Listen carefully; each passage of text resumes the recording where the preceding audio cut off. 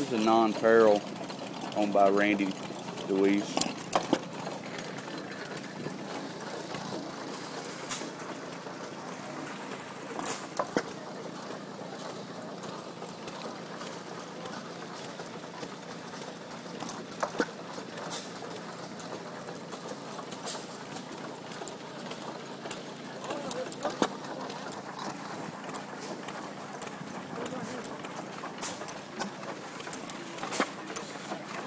Still here at the show on Sunday.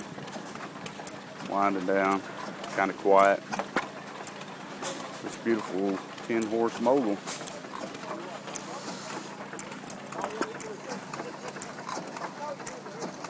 It's also owned by Randy. You may have seen it in an earlier video.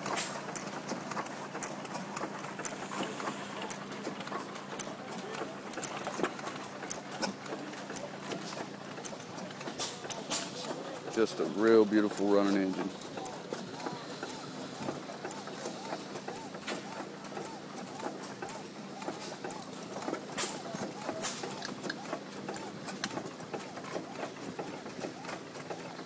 Awesome original cart.